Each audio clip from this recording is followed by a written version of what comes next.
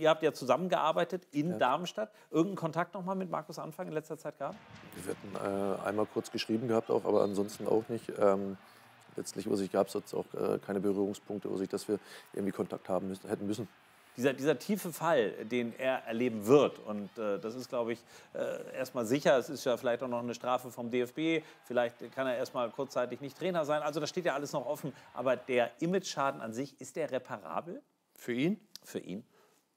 Ich dachte jetzt, du meinst erst für Werder Bremen, da wurde ja auch drüber nachgedacht, weil das auch den Verein mitnimmt. Da ist gar nichts zurückgeblieben, weil letztlich äh, ist dieser Club ja auch, man muss es so sagen, einfach über Wochen lang äh, von ihm belogen worden, auch die Spieler. Jeder wurde äh, praktisch äh, vor falsche Tatsachen gestellt.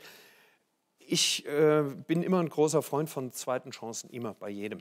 Und ähm, bei Markus Anfang bin ich mir da deshalb nicht ganz sicher, weil dieses Thema in der Gesellschaft so spaltend ist und so hochgehängt wird und wer dann wissentlich die Leute auf Deutsch gesagt so verarscht und betrügt, seinen Verein, seine Mannschaft und so weiter und sich dann noch am 11.11. .11. in Köln hinstellt und äh, auf einer 2G-Veranstaltung, ähm, da noch 2G-Plus-Veranstaltung, dann noch, der ist für meine Begriffe unbelehrbar. Ich glaube nicht, dass er wiederkommt im Trainergeschäft. Also zumindest nicht in Deutschland. Vielleicht so russische Liga irgendwo. Kann ja auch sein. Ist ja nichts dagegen. Aber ich glaube nicht, dass er wiederkommt. Ja, ich will aber eigentlich ja. zu Markus anfangen. Vielleicht wäre es besser gewesen, sich nicht rauszuziehen. Ich weiß nicht, wie das anwalttechnisch war. Das kann ich nicht beurteilen. Aber vielleicht wäre es besser gewesen, von Anfang an zu sagen, Mensch, ich habe den größten Scheiß gebaut. Ey, das tut mir leid und das ist eigentlich auch nicht. Aber das hätten Leute vielleicht dann verstanden. Aber dann kommt ja immer mehr und, und aber jetzt geht es ja erst los.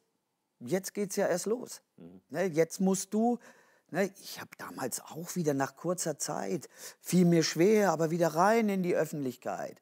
Ne, wenn Fanansammlungen waren, habe ich erstmal einen großen Bogen gemacht, um nicht irgendwelche Dinge rauszufordern. Und als ich das erste Mal wieder an der Linie gestanden habe in Dresden, da habe ich auch gedacht, na, geh mal lieber nicht so dicht ran, wer weiß, was passiert. Du brauchst auch für dich selbst Zeit. Mhm. Aber auch bei mir hat man gesagt, der wird nie wiederkommen.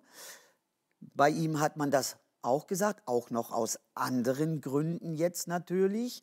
Äh, aber er hat gezeigt, dass er ein guter Trainer hat, ist.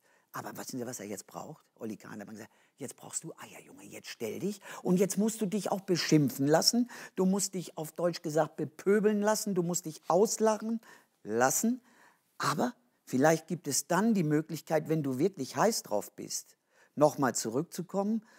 Und vielleicht, äh, Martin Quast hat es ja gesagt, er ist ein Freund davon für eine zweite Chance.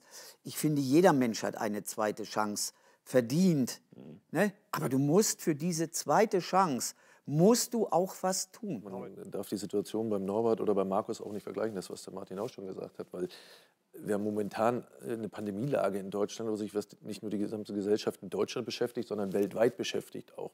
So, deswegen ist es ein anderer Fall, äh, eine Entgleisung vom Norbert, als äh, das, was der Martin auch gesagt hat, wenn man einen Betrug begeht, sozusagen. Das wird in der nächsten Zeit sich sicherlich nicht ändern, was die Pandemie angeht.